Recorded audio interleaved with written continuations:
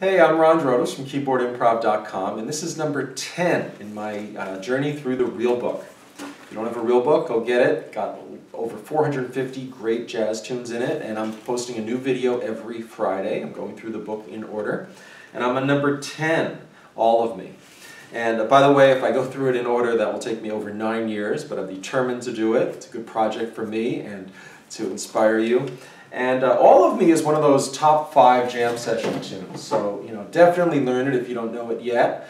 And if you do know it, you know what I'm talking about because you've played it a lot. And there's so many different great approaches to the tune, all the way from stride piano like Teddy Wilson would play.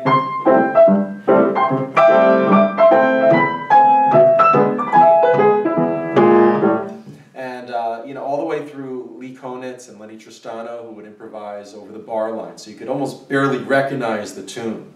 You know, they're playing.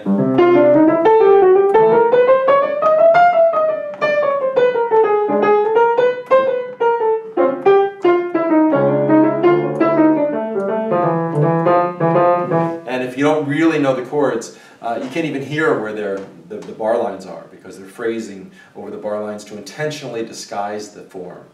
Uh, so there's a whole lot of approaches on this tune. And what I do is I just, I've played them all and I've studied them all and I've known the tune for so long, I just forget it all and just see what comes out. It's a little fresh either time. So uh, let's uh, take this journey today through all of me together and just see where it takes me.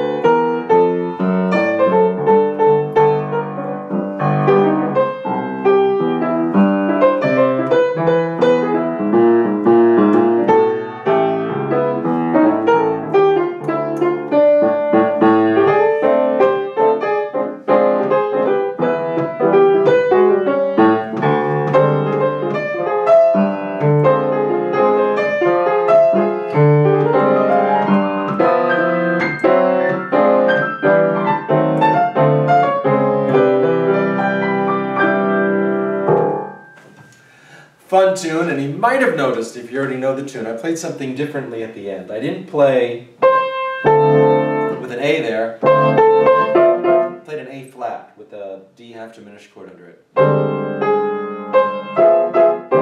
And that's because that's the way the tune was originally written. The composer wrote it like that. Has a little minor feel at the end.